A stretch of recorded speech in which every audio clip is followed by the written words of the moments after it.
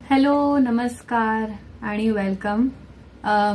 आपल्या सगळ्यांचं स्वागत आहे Acharya ninety F M your own radio मी मुक्ता जोशी आणि माझ्यासोबत आहेत सुपर्णा कश्यप मॅम आम्ही आचार्य मराठे कॉलेजमध्ये ॲज काउन्सिलर्स म्हणून काम करतो.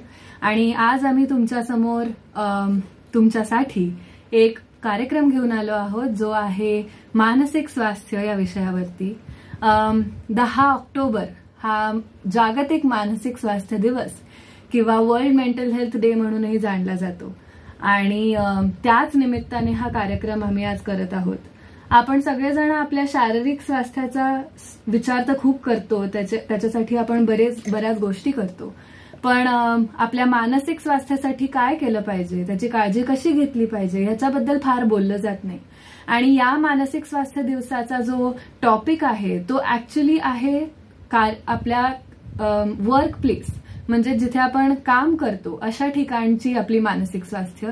पण हा कार्यक्रम आपण मुलांसाठी करत असल्यामुळे कॉलेजच्या मुलांसाठी करत असल्यामुळे आज आम्ही जो टॉपिक निवडला आहे तो आहे तणाव मानसिक तणाव. आणि त्याबद्दलच आज आपण बोलणार आहोत. सो सुपर्णा मॅम तुम्ही सुरू करू शकता का? आणि एक छोटीशी गोष्ट सांगू शकता का की मानसिक तणाव म्हणजे नक्की काय आणि त्याचे काय प्रकार असतात? येस मॅम हेलो नमस्कार एवरीवन मेरा नाम सुपर्णा है. um, तो जो तनाव हम जो कहते हैं मानसिक तनाव जिसे हम कहते हैं वो एक जो हम महसूस करते हैं कि कुछ भारीपन लग रहा है कुछ बेचैनी सी लग रही है काम में मन नहीं लग रहा हमारा ध्यान नहीं लग रहा रोज के काम पे। बहुत थकावट महसूस होना शरीर में से ताकत ही खत्म हो गई है ऐसा महसूस करना। ये सारे तनाव के दूसरे अलग अलग प्रकार होते हैं। अभी रोज के ज़िंदगी में कुछ हद तक तनाव जो है वो नॉर्मल है वो होता है। अ, कुछ ना कुछ रोज के घटनाओं पे हमें थोड़ा बहुत तनाव महसूस होते रहता है। लेकिन अ, इसका मतलब ये नहीं है कि हर एक प्रकार का तनाव जो है वो बुरा है। कुछ हद तक तनाव होता ही है उसको हम कुछ कर नहीं सकते। और कई कबार ये छोटी छोटी चीज़ों को लेकर जो तनाव होता है वो हमसे मैनेज भी हो जाता है। हम कुछ ना भी करे उसकी तरफ़ तो वो कुछ टाइम बाद खुद से ही वो शांत भी हो जाता है। लेकिन अगर कभी हमें इतना तनाव हो रहा है कि हम उसे जो कहते हैं व्यथा कहते हैं कि आ, कुछ और करने ही नहीं हो रहा है हमें। हमारा पूरा का पूरा ताकत जो है इस तनाव ने ही खा लिया है। हमें हमारे रोज की ज़िंदगी में ध्यान देने नहीं हो रहा है। हमें जो काम करना है वो हम काम नहीं कर पा रहे हैं। हमारा पूरा का पूरा ध्यान तनाव की तरफ़ जा रहा है। हमें पूरे दिन थकावट महसूस हो रही है। हमें सर में दर्द हो रहा है। बहुत अलग अलग तरीके होते हैं अलग अलग लक्षण होते हैं जो हम बाद में देखेंगे। जब ये सारी महसूस होती है कि हमें रोज की ज़िंदगी में एक अड़चन आ रही है। तब उस तनाव को लेके हमें कुछ तो करना चाहिए कुछ एक हमें एक्शन लेना चाहिए जिससे हम तनाव कम कर सके। अब ज़रूरी नहीं है कि हम तनाव को इस हद तक बढ़ने भी दें। छोटी छोटी चीज़ें जो हम रोज के तनाव को कम करने के लिए कर सकते हैं ये करते रहें तो हम वहाँ तक पहुँचना ही टाल सकते हैं। तो दो तरह के तनाव होते हैं। एक होता है एक्यूट स्ट्रेस जिसे हम कहते हैं तीव्र तनाव। अभी जैसा कि इसके नाम में ही है। तीव्र मतलब कि इस तरह के तनाव की तीव्रता बहुत ज़्यादा होती है बहुत इंटेंस होता है। और ये किसी घटने को लेकर एक रिएक्शन होता है।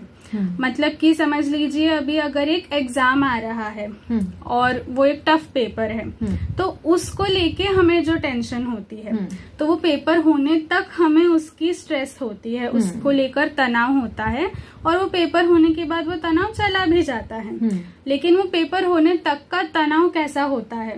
कितना कुछ हमारे दिमाग में चलता है हम कितना कुछ सोच लेते हैं उस चीज़ को लेके उसकी तीव्रता बहुत ज़्यादा होती है।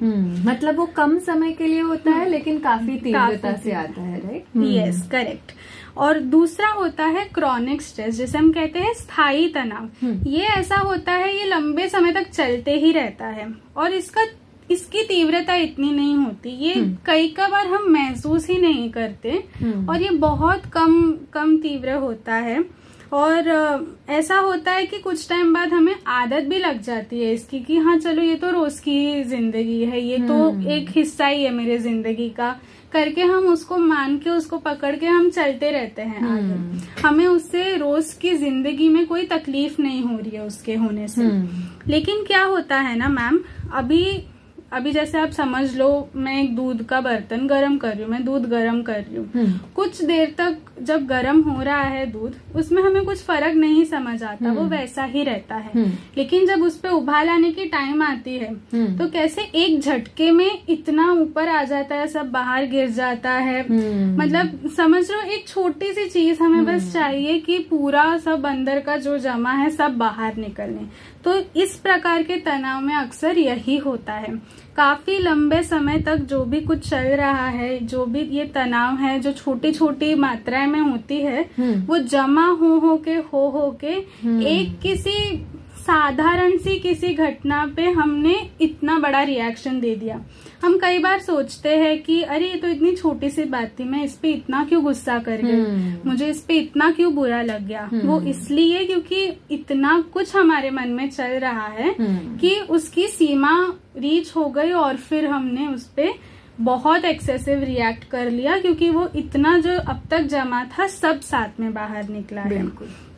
है ना? अम, इसके एग्जाम्पल्स हो सकते हैं जैसे अगर फैमिली में कोई इश्यूज़ हो रही है तो वो रोज के ही चलते हैं रोज हम उससे एक्सपीरियंस करते हैं और उसका जो तनाव है वो लगभग रोज ही हम महसूस करते रहते हैं। उसी तरह कोई फाइनेंशियल क्राइसिस हो गया कोई आर्थिक परेशानी है अगर तो उस पर भी हमें रोज ही महसूस करते रहते हैं तनाव। और ये सब जो होता है ये आगे चल के कभी बड़े से हम रिएक्शन देके ये बड़े से निकलता है। अम, तो जैसा होता है भले ही छोटे छोटे मात्राओं पे हम ये महसूस कर रहे तनाव लेकिन इसका जो हमारे सेहत पे असर है ये भी होते ही रहता है बैकग्राउंड में और फिर जो उसका फाइनल रिज़ल्ट होता है वो भी हमारे सेहत पे असर करता है हमारे शारीरिक सेहत पे और हमारे मानसिक सेहत पे भी। हम्म, बिल्कुल। और मुझे ऐसे लगता है कि ये जानना बहुत ज़रूरी है कि मैं कब समझ सकती हूँ कि मुझे सच में ऐसा स्ट्रेस हो रहा है। क्योंकि आप जब बोल रहे थे कि वो ऐसे फट से पता नहीं चलता है ऐसे थोड़ा थोड़ा होते रहता है वो स्ट्रेस लेकिन अचानक से आ जाता है। तो अम, मैं कुछ बताना चाहूँगी ऐसे लक्षण जो हम जान सकते हैं जिससे कि अच्छा चलो ये हो रहा है तो शायद मुझे कुछ ना कुछ स्ट्रेस हो रहा होगा। um, अब ये जो लक्षण है वो अलग अलग तरीके के होते हैं। एक होता है कि हम शारीरिक रीत्या हमें दिखते हैं वो फ़िज़िकल जिसको हम बोलते हैं। Um, तो पहले मुझे ऐसा लगता है कि हम कई बार क्या होता है हम डॉक्टर के पास जाते हैं मुझे ये दर्द हो रहा है पीठ में दर्द हो रहा है मुझे उल्टी जैसे महसूस हो रहा है या फिर बहुत हेडेक्स हो रहे हैं सिर में बार बार दर्द हो रहा है। और कई बार क्या होता है कि डॉक्टर बोलता है कि पर आपको शारीरिक रीत्या तो कोई प्रॉब्लम है ही नहीं। तो मुझे ऐसा लगता है कि उस समय जब डॉक्टर हमें बोलते हैं कि अच्छा हो सकता है कि आपको मानसिक तनाव की वजह से तनाव की वजह से हो, ये हो रहा होगा तब हमें ये चीज़ें महसूस होती है। तो मुझे लगता है अपने चेस्ट में पेन होना है ना छाती में दर्द होना बहुत बार बार हमें बहुत पसीना आते रहता है बिना किसी कारण के या फिर नींद नहीं आती है या फिर कुछ ज़्यादा ही नींद आती रहती है। अम, ऐसी जो चीज़ें हैं मुझे लगता है वो शारीरिक में हम अ, देख सकते हैं। दूसरा जो होता है वो हमारा मानसिक हमारे भावनिक रीत्या हमें किस तरीके से अ, ये दिख चीज़ें दिख सकती है। अम, तो पहली जो चीज़ है मुझे लगता है कि हम बार बार इरिटेटेड रहते हैं। छोटी सी चीज़ हो जाए जैसे आपने बोला छोटी सी चीज़ हो जाए तो हम एकदम रिएक्ट कर देते हैं। अम, या फिर हम कॉन्सेंट्रेट नहीं कर पाते। जब पढ़ाई कर रहे होते हैं तब बिल्कुल भी हमारा ध्यान वो पढ़ाई पे नहीं रहता। अम, और एक चीज़ होती है कि जब बहुत टाइम तक हमारे अ, हम तनाव के अंदर, अ, अंदर रहते हैं तो उस टाइम पे हमारे जो स्मरण शक्ति है मेमोरी है उस पर भी बहुत अ, असर हो सकता है। अब मान लो कि एग्ज़ाम के टाइम पे हम पढ़ाई कर रहे हैं और बहुत ज़्यादा स्ट्रेस हो रहा है और मेमोरी पे हमारे असर हो गया तब तो हम पेपर लिखते समय कुछ लिख ही नहीं पाएँगे कुछ याद ही नहीं आएगा। तो मुझे लगता है ये बहुत ज़रूरी चीज़ें हैं जो हमें अ, समझना कि अच्छा मैं याद तो कर रही हूँ पर मुझे कुछ सम, याद ही नहीं रह रहा है। ये समझना और उसके ऊपर उसी टाइम पे कुछ ना कुछ करना ये मुझे लगता है ज़रूरी है। उसके अलावा अ, ये चीज़ें तो हम अपने खुद में देख सकते हैं। पर कुछ लोग होते हैं जो हमें बताते हैं कि अच्छा तुम ना काफ़ी तनाव के अंदर लग रही हो तनाव दिख रहा है तुम्हारे ऊपर। तो वो कैसे दिखता है? तो मुझे लगता है कि वो सामने वाले हमें बता सकते हैं हम किसी को बता सकते हैं। कई बार हम देखते हैं लोग अपने नाखून चबाते रहते हैं। किसी किसी को आदत होती है पर कई बार ये एक लक्षण हो सकता है मानसिक तनाव का। बार बार ख्याल आते रहना कि, किसी ख्यालों में गुम हुए रहना। है ना? हम देख सकते हैं किसी को। जो हमारा दोस्त है जो पहले बहुत अच्छे से मतलब बातें बातें करते थे अपने घुल मिल के रहते थे अचानक एकदम अलग रह रहे हैं है ना? अपने ख्यालों में ही रह रहे हैं। तो ये चीज़ें पूरे सामाजिक वातावरण से अपने आप को दूर कर लेना बार बार झगड़े करते रहना। अ, ये ऐसी कुछ चीज़ें हैं जो हमें बता सकती है कि अम, सच में हमें मानसिक तनाव अम, है हम उससे गुजर रहे हैं। और ये हमें ऑब्जर्वेशन से ही पता चलता है। जब हम अपने आप को देखते हैं महसूस करते हैं तब हमें पता चलता है। सामने वाले को ऑब्ज़र्व करते हैं तब हमें ये चीज़ें पता चलती है। तो मैम अभी आपने ये तो बहुत ज़रूरी बात बता दी कि हम अपने अंदर तनाव को आइडेंटिफाई कैसे कर सकते पहचान कैसे सकते हैं। क्या लक्षण होते हैं उसके? हम्म। अभी मैंने ये तो जान लिया कि मुझे तनाव हो रहा है। हम्म। अब मैं उसे मैनेज करने उसे कम करने के लिए क्या कर सकती हूँ? तो क्या आप इस पे कुछ बता सकते हैं? ये तो बहुत ही इम्पोर्टेंट सवाल है। मुझे लगता है तनाव क्या है ये हमें थोड़ा बहुत तो अपने आप के बारे में पता होता ही है। पर अभी उसके करे क्या? जब आएगा तब हम करें क्या? और जैसे आपने पहले भी कहा था कि अम, सिर्फ़ जब तनाव बहुत ज़्यादा हो जाता है तभी उस पर काम करना ज़रूरी नहीं है। हम जब खुश होते हैं रेगुलर लाइफ में भी जब हम होते हैं तब भी हम प्रिवेंट कर सकते हैं रोक सकते हैं तनाव आने से। या उसका तीव्रता कम रखने के लिए। अ, तो मुझे लगता है पहली चीज़ जो मैं बताना चाहूँगी वो है जिसको हम रेजिलियंस कहते हैं। रेजिलियंस ऐसी चीज़ है जिसका मतलब है कि देखो हमारे सबकी लाइफ में ज़िंदगी में कुछ ना कुछ कठिनाइयाँ आती है मुश्किलें आती है। कई बार हम फेल हो जाते हैं। लेकिन उन कठिनाइयों से मुश्किलों से सामना करके उस उसके बाद भी खड़े होना उसके बाद भी गिर कर उठना जिसको हम कहते हैं ना उसको हम रेजिलियंस कहते हैं। अब रेजिलियंस हम अपने आप में पैदा कर सकते हैं। ज़रूरी नहीं है कि वो सीखा नहीं जा सकता। अ, उसके लिए क्या कर सकते हैं? तो पहली बात तो हमारे आसपास बहुत ऐसे लोग होते हैं मैम जो अ, हमें मदद करने के लिए तैयार होते हैं। अ, बहुत नहीं तो एटलीस्ट हमें पता है कि एक आध दो लोग हैं जिनसे हम मदद मांग सकते हैं। अ, मैं तो कहती हूँ कि ऐसे लोगों का ना मैं अपने पास लिस्ट बना के रखती हूँ कि अ, चलो मुझे जब भी कोई प्रॉब्लम आएगी ना ये लोग हैं तो मुझे पक्का ही मदद कर ही देंगे। अम, तो इससे क्या होता है कि जब हम तनाव महसूस कर रहे होते हैं तब हमारे पास उतनी क्षमता नहीं होती इन चीज़ों के बारे में सोचने की। अ, मैं किससे जाके बात करूँ? अब कौन होगा जो मुझे मदद कर पाएगा? तो अपने आप के लिए एक आसान तरीका करना और इन लोगों के बारे में पता रखना और जब भी मदद लगे तो उनकी मदद मांगना। आ, मुझे लगता है ये बहुत इम्पोर्टेंट चीज़ है। आ, दूसरी जो चीज़ है हम खुद को भी मदद कर सकते हैं। किस तरीके से? तो मुझे ऐसे लगता है कि हमारे जो हमारे सबके अंदर कोई ना कोई स्ट्रेंग्थ्स होती है खूबियाँ होती है। और वो खूबियाँ जानना सबसे पहले हमें पता ही नहीं होता हमारे अंदर क्या खूबियाँ है। मुझे लगता है बचपन से हमें ये बताया जाता है कि ये कमियाँ हैं इस पे काम करो। पर हमारी खूबियाँ क्या है इसके बारे में बहुत कम लोग बात करते हैं। तो मुझे लगता है कि ये बात करने का समय अभी है। अ, अपनी खूबियाँ ढूंढो। क्या चीज़ें हैं जो आप तनाव के टाइम पे इस्तेमाल कर सकते हो जिसका आप यूज़ कर सकते हो? आ, वो उन खूबियों को लिख देना। मैं तो वापस मैं वही बोलूँगी कि लिस्ट बनाना कि मेरी स्ट्रेंथ्स क्या है मेरी खूबियाँ क्या है। पहले कभी मुझे स्ट्रेस आया होगा। मैंने उसके साथ कै- किस तरीके से डील किया था? किस तरीके से उसका सामना किया था? क्या चीज़ें मेरे लिए अच्छी रही थी? क्या चीज़ें अच्छी नहीं रही थी? ये जानना और उस उन तरीकों को हमारे हम जिस तरीके से उनको रिस्पॉन्ड करते हैं उनको जान के उस तरीके से रिस्पॉन्ड करना भी हम कर सकते हैं। एक और चीज़ एक सिंपल एक्सरसाइज मैं बताती हूँ। जो हम रोज कर सकते हैं। हमें बचपन से बोलते हैं डायरी लिखो डायरी लिखो। अब डायरी में तो हम क्या लिखते हैं कि मैं इतने बजे उठी मैंने इतने बजे नाश्ता किया इतने बजे मैं स्कूल गई या कॉलेज गई वट मुझे लगता है कि हम इस तरीके की डायरी लिखे जिससे हमें काफ़ी पॉजिटिव या सकारात्मक महसूस हो। तो एक ग्रैटिट्यूड जर्नल कहा जाता है जिसको जो हम रोज रात को ये एक्टिविटी कर सकते हैं। सिंपल है एकदम।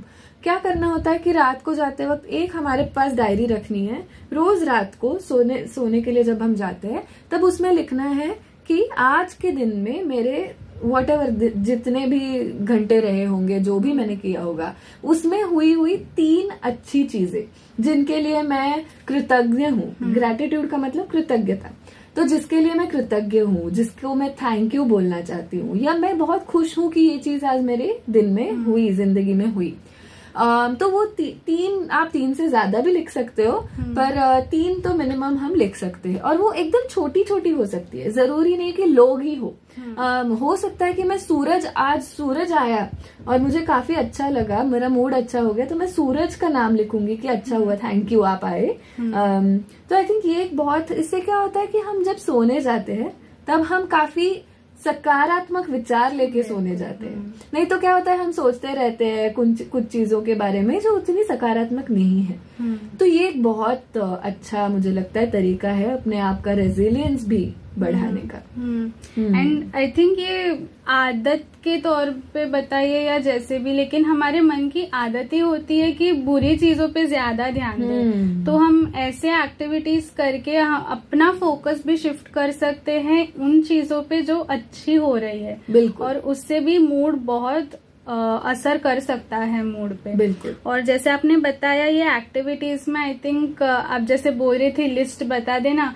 मुझे याद आ रहा था जैसे हमें फ़र्स्ट एड किट जो कहते हैं हम हमेशा चोट लग गया तो बैंडेड वगैरह रखे रहते Yes. हैं वैसे ऐसी एक लिस्ट हमने अपने साथ रख ली तो ये भी फ़र्स्ट एड की तरह की कुछ हो गया तो तुरंत हमें अपने सामने सामने मिल जाएगा कि हमें क्या करना है अभी आगे और कितना आसान हो जाता है काम उससे। ये बहुत अच्छा एग्ज़ाम्पल हम्म, अम, तो वैसे ही अभी इनके साथ साथ ये तो ऐसी चीज़ें हैं जिसमें हमें थोड़ा सोच के अंदर झाँक के जिसे इंट्रोस्पेक्शन कहते हैं अंदर झाँक के खुद पे आइडेंटिफाई करना पहचानना ये सब गुण को वो सब है। इसके साथ साथ दूसरी चीज़ होती है जो बहुत आम चीज़ है जो इतना है आम है कि कई बार हम उसे ध्यान ही नहीं देते हम उसे। नेग्लेक्ट कर देते भूल जाते हैं। जो है कि खुद का ध्यान रखना। जैसे हम सेल्फ केयर कहते हैं। अब सेल्फ केयर भी आजकल के जमाने में इसको बहुत मार्केटिंग करके मोनेटाइज कर दिया है एडवर्टाइज कर दिया है। कि स्पा में चले गए या कुछ अपने ऊपर शॉपिंग कर लिया पैसे खर्च कर लिए लेकिन सेल्फ केयर का मतलब ये नहीं होता। बिल्कुल। ज़रूरी नहीं है कि आपको पैसे ही खर्च करने हैं खुद पे ध्यान हम्म, देने। हम्म। बहुत छोटी छोटी चीज़ें होती है जो सेल्फ केयर पे गिनते हैं हम। जैसे कि अ, समझ लो अपने शारीरिक सेहत का ही ध्यान रखना कि हमने एक बैलेंस डाइट खाया हमने हेल्दी खाना खाया हम पानी पी रहे हैं अच्छे से खुद को हाइड्रेट कर रहे हैं दिन में हम सात से आठ घंटे की नींद दे रहे हैं खुद को हम्म। ये छोटी छोटी चीज़ें हैं लाइफस्टाइल चेंजेस है जिसके करने से हमारा फ़िज़िकल हेल्थ तो अच्छा होगा ही और इसका जो असर है ये हमारे मानसिक सेहत पर भी पड़ता है। हम्म, उसी के साथ साथ एक बहुत ज़रूरी चीज़ है जो हम बचपन में बहुत करते थे हॉबीज के नाम पर कि आज मैंने रीडिंग कर लिया आज मैंने पेंटिंग कर लिया ड्राइंग कर ली गाना गा लिया डांस कर लिया। हम्म। और बचपन में तो ऐसे कंपटीशन होता था कि किसके पास सबसे ज़्यादा हॉबीज है। हम्म। लेकिन बड़े होते होते आप देखेंगे तो कितने सारे हॉबीज हमारे छूट ही जाते हैं। हम्म। क्योंकि बहुत सारे अलग अलग चीज़ें आ जाती है लाइफ में रिस्पॉन्सिबिलिटीज बढ़ जाती है करियर एकेडमिक्स इन सब का प्रेशर आ जाता है। हम्म। और इन सब के बीच में हम इन चीज़ों पे ध्यान देना भूल जाते हैं जिसमें से हमें इतनी ज़्यादा खुशी मिलती है। हम्म, बिल्कुल। है ना?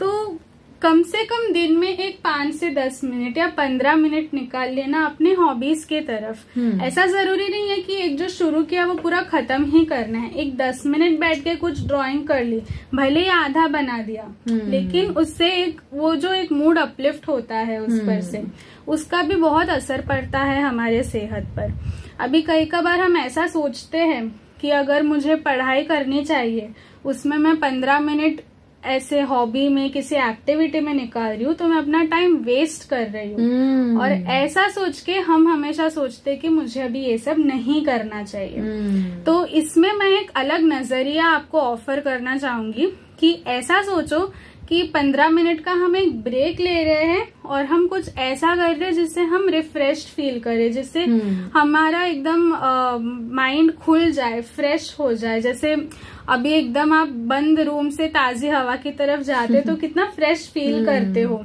तो आपको ऐसा एक अनुभव होगा ये एक्टिविटी करके।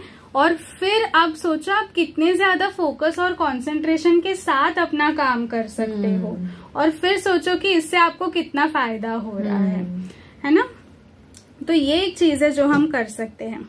दूसरा है हम अपने एकेडमिक्स के लिए गोल्स बनाते हैं कि मुझे इतना मार्क्स चाहिए मुझे आज के दिन में ये वाला खत्म करना है पढ़ के उसी तरह सेल्फ केयर के भी गोल्स बनाना हम्म। कि आज के दिन में मैं इतना लीटर पानी पीऊँगी हम्म। आज के दिन में मैं दस मिनट एक्सरसाइज करूँगी आज के दिन में मैं ये वाला हॉबी अपने टाइम निकालूँगी ऐसे छोटे छोटे गोल्स रखना जो हम खत्म करें कंप्लीट करें और इससे एक तो हमारा मोटिवेशन भी बना रहता है हम्म। और दूसरा हमारा हम स्ट्रेस भी हमारा कम करते जा रहे हैं हम्म, और सबसे ज़रूरी बात है आजकल मना करना बाउंड्रीज जो होते हैं हम्म। इसे सेट करना जो सीमाएँ होती है अपनी आसपास कि अगर हमें लगे कि ये चीज़ मैं अभी नहीं कर सकती हूँ हम्म। तो मना कर देना कई का बार हम प्रेशर में आके अपने अंदर बहुत काम ले लेते हैं अपने हम्म। ऊपर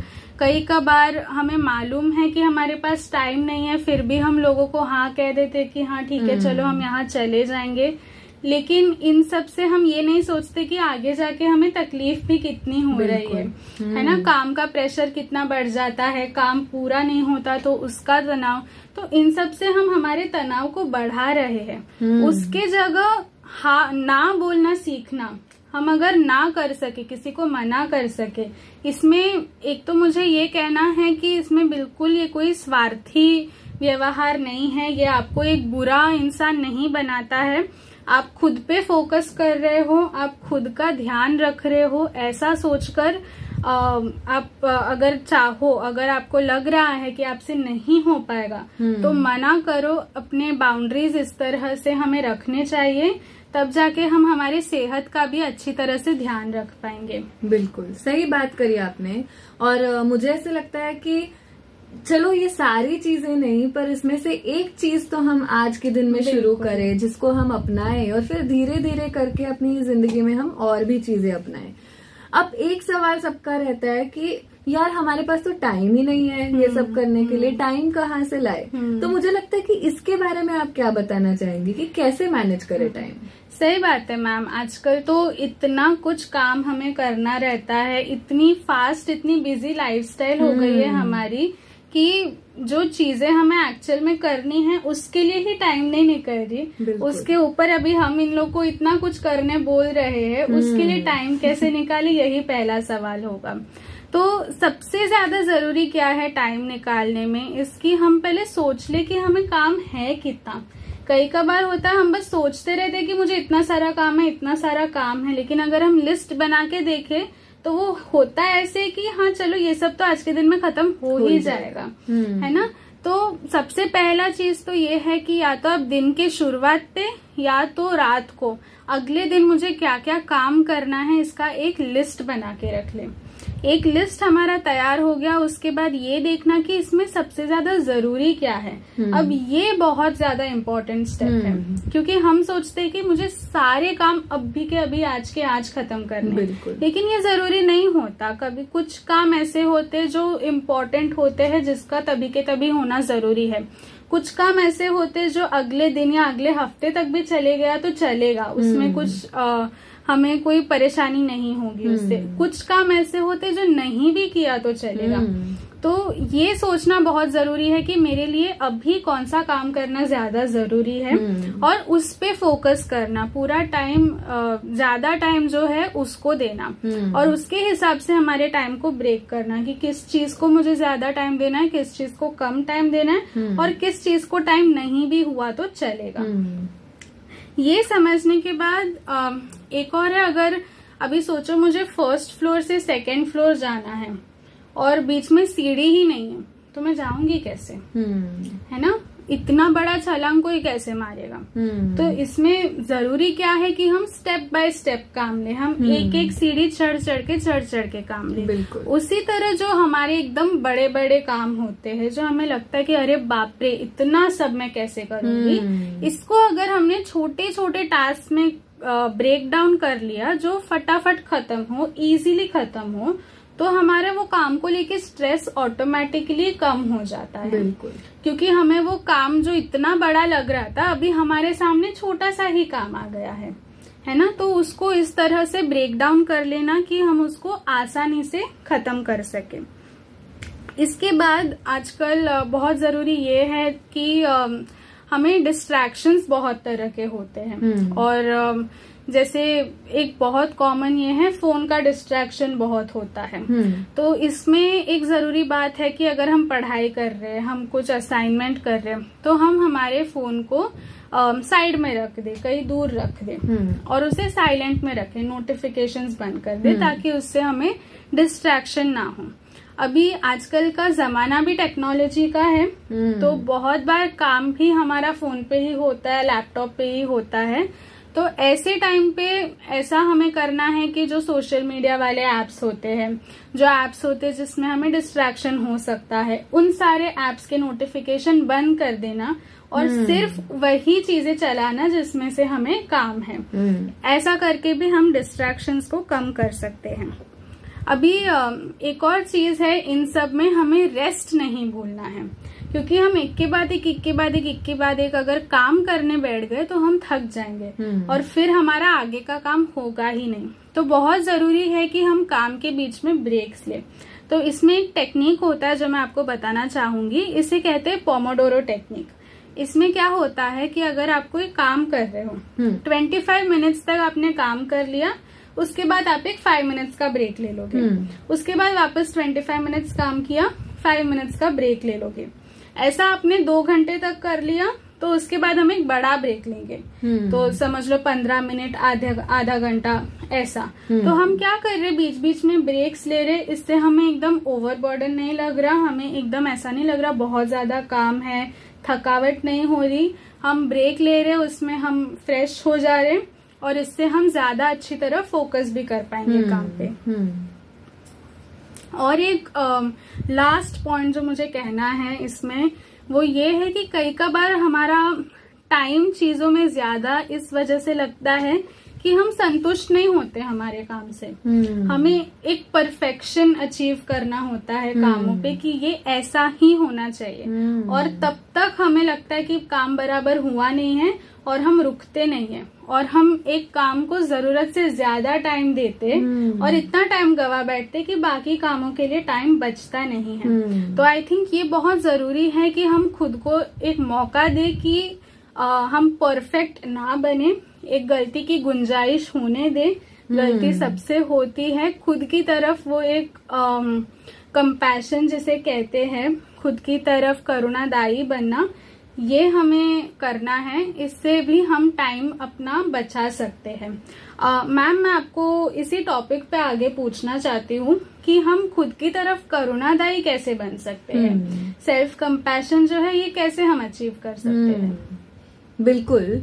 अ, मुझे लगता है सेल्फ कंपैशन जो एक चीज़ हम अब अभी बात करने वाले हैं अ, खुद की तरफ़ करुणादायी होना वो एक बहुत ही महत्वपूर्ण अ, चीज़ है हमारे तनाव से बचने के लिए और अगर आता है तो उससे जूझने के लिए।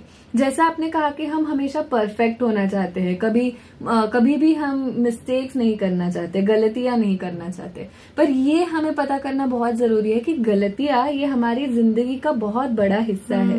अम, बोलने के लिए तो हम बोलते हैं कि गलतियों से ही तो इंसान सीखता है। पर कब हम ये अपनाते हैं राइट right? तो मुझे ऐसे लगता है कि अपने आप को गलती करने का मौका देना अगर गलती होती है तो उन चीज़ों को एक्सेप्ट करना अपनाना और दूसरी जो चीज़ है बहुत बार हम करते हैं कि हमारी गलतियों को हम अपने वास्तव्य से जोड़ देते हैं। hmm. है ना? जैसे कई अगर मुझे मार्क्स अच्छे नहीं आए तो मैं बोलती हूँ कि मैं बहुत ही बुरी स्टूडेंट हूँ hmm. बहुत ही बुरी विद्यार्थिनी हूँ। अम, या फिर कभी कभार मैंने किसी के ऊपर चिल्ला दिया किसी को कुछ बोल दिया तो मैं बोलती हूँ कि मैं तो बहुत गुस्सेल इंसान हूँ। मुझे तो तो मुझे ऐसा लगता है कि हम हमेशा चीज़ों को अपने वास्तव्य से अपनी आइडेंटिटी से जोड़ते हैं। और वो जोड़ना थोड़ा हमें अ, कम करना बहुत ज़रूरी है। अगर हमने कोई गलती करी है तो वो एक हमारा व्यवहार है। वो हमारी आइडेंटिटी नहीं है हमारा वास्तव्य नहीं है। वास्तव नहीं है। तो मुझे ऐसे लगता है कि अम, ये जानना बहुत ज़रूरी है पहली बात। और धीरे धीरे करके मैं ये नहीं बोल रही हूँ कि आज ही आप शुरू करोगे और आज ही आप एकदम सेल्फ कंपैशनेट बन जाओगे। दूसरों की तरफ़ कंपैशन दिखाना बहुत आसान होता है अ, कई बार। अ, लेकिन अ, उतना ही कंपैशन अपनी तरफ़ दिखाना बहुत मुश्किल होता है। हम अपने ऊपर बहुत डिफ़िकल्ट uh, बना देते हैं इन चीज़ों को। दूसरी जो चीज़ होती है मुझे लगता है कि हम हमें पता है कि हम किस तरीके का व्यवहार करते हैं किस तरीके का जैसे मैंने बताया कि मैंने गुस्से से किसी के ऊपर चिल्ला दिया। लेकिन हमें ये नहीं पता होता है कि उसके पीछे की भावनाएँ क्या होती है ना? जैसे अ, मैंने चिल्ला दिया किसी के ऊपर बट सिर्फ़ मैं गुस्सा नहीं थी मुझे बुरा भी लग रहा था मुझे इंसल्ट भी फील हो रहा था। तो ये अलग अलग फीलिंग्स जानना आप इंटरनेट पे जाओगे तो आपको इसके ऊपर बहुत सारा लिखा हुआ मिलेगा वीडियोस मिलेंगे अ, वो आप देख सकते हैं। तो मुझे ऐसा लगता है कि ये फीलिंग्स को जानना समझना और अब मैं इसके ऊपर कैसे काम कर सकती हूँ कौन सी फीलिंग मुझे चाहिए? वो फीलिंग पाने के लिए मैं क्या कर सकती हूँ? इन चीज़ों पे काम करना भी हमारे लिए महत्वपूर्ण होता है। और फाइनली हम एक माइंडफुलनेस के बारे में आजकल काफ़ी बात कर रहे हैं। उसका मतलब क्या है? कई लोगों को पता नहीं होता। अ, मुझे लगता है माइंडफुलनेस का मतलब यह है कि जो भी चीज़ आप कर रहे हो उसके उसको पूरे मन से करना अपना पूरा मन उसमें लगा के करना। ज़रूरी नहीं है। उसमें ये भी आता है मेडिटेशन करना ध्यान करना अपनी सांसों पे ध्यान देना उन सांसों की एक्सरसाइजेस करना प्राणायाम करना। लेकिन सिर्फ़ वो ही माइंडफुलनेस नहीं है। उसके अलावा आपकी रोज की ज़िंदगी में भी आप माइंडफुलनेस अपना सकते हैं। अगर आप चलने जा रहे हैं तो पूरे मन से चले। देखिए कि मैं कैसे चल रही हूँ मेरा स्पीड कितना है मैं कहाँ किस तरीके से अपना पैर रख रही हूँ है ना? खाते समय मैं कितना चब कितनी बार खाना चबा रही हूँ कितने अम, पूरा ध्यान अपना खाने पे ही है है ना? तो ऐसी चीज़ें मुझे लगता है बहुत ज़्यादा इम्पोर्टेंट है अपने आप को करुणादायी तरीके से देखने के लिए एक सेल्फ कंपैशन दिखाने के लिए।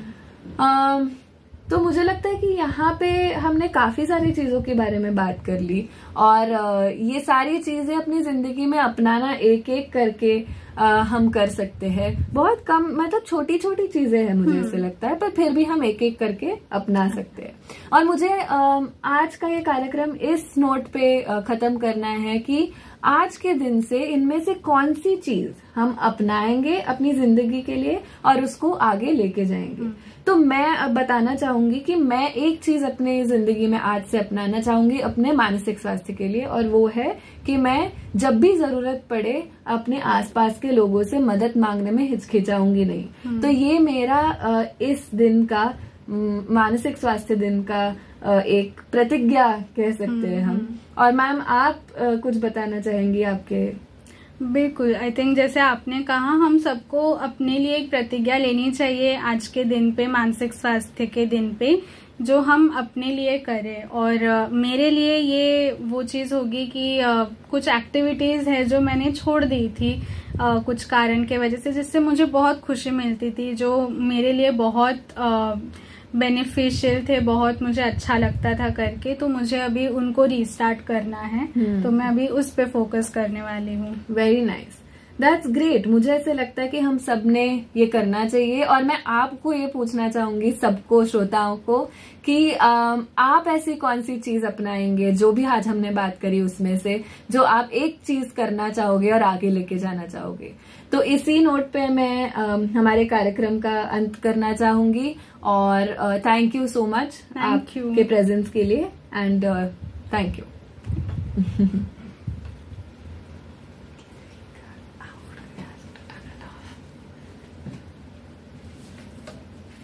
very weird.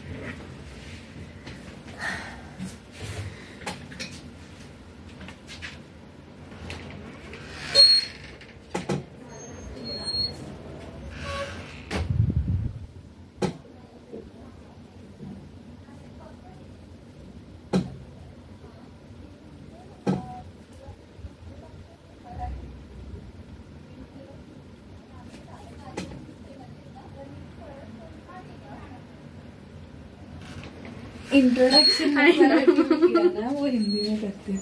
तो देख भी रही थी मेरी तरह। हेलो नमस्कार वेलकम आप सभी को। आपका स्वागत है Acharya 90 FM your own radio में। आज हम यहाँ पे हमारा जो कार्यक्रम है, वो है मानसिक स्वास्थ्य इस टॉपिक के ऊपर। आज 10 अक्टूबर मतलब जागतिक मानसिक स्वास्थ्य दिन है जिसको हम वर्ल्ड मेंटल हेल्थ डे भी बोलते हैं। और इसी अवसर पर हम आज आपके सामने ये कार्यक्रम कर रहे हैं। इस साल के मानसिक स्वास्थ्य दिन का जो टॉपिक है वो है वर्क प्लेस मेंटल हेल्थ हम जहाँ पे काम करते हैं उस जगह का मेंटल हेल्थ लेकिन ये कार्यक्रम हम अ, हमारे कॉलेज के स्टूडेंट्स के लिए कर रहे हैं तो हमने सोचा कि हम ऐसी चीज़ के ऊपर बात करें जो सारे बच्चे रिलेट कर पाए स्टूडेंट्स रिलेट कर पाए. अम, तो आज हम बात करने वाले हैं मानसिक तनाव के ऊपर स्ट्रेस जो हमें आता है और अभी एग्ज़ाम्स आ रहे हैं तो मुझे लगता है कि इस टॉपिक के ऊपर बात करना तो बहुत ही ज़रूरी है।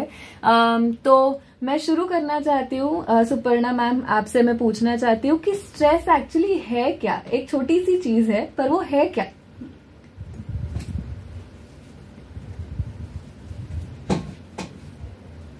इंट्रोड्यूस नहीं किया हूँ ओ शिट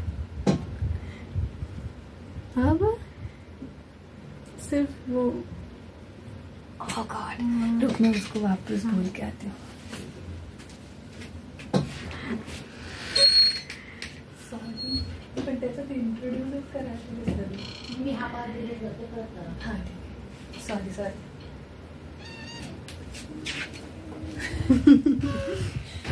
बोल बोल introduce world mental health day then introduce ठीक है। हेलो नमस्कार वेलकम आप सबका स्वागत है Acharya 90 FM your own radio में। और मैं हूँ मुक्ता जोशी। मेरे साथ है सुपर्णा कश्यप मैम। हम दोनों आचार्य मराठे कॉलेज में एज काउंसलर्स काम करते हैं।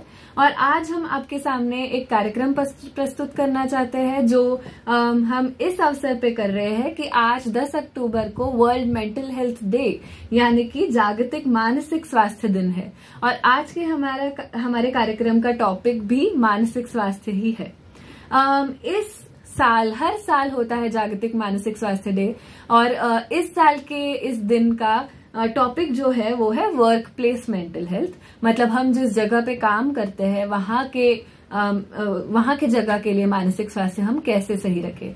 लेकिन ये कार्यक्रम हम अपने कॉलेज के स्टूडेंट्स के लिए कर रहे हैं, विद्यार्थियों के लिए कर रहे हैं तो इसी अवसर पर हम ये कार्यक्रम का टॉपिक रखना चाह रहे थे जिसको हम कहेंगे मानसिक तनाव, है ना? स्ट्रेस और अभी तो मुझे लगता है कि एग्ज़ाम्स भी आ रहे हैं बच्चों के।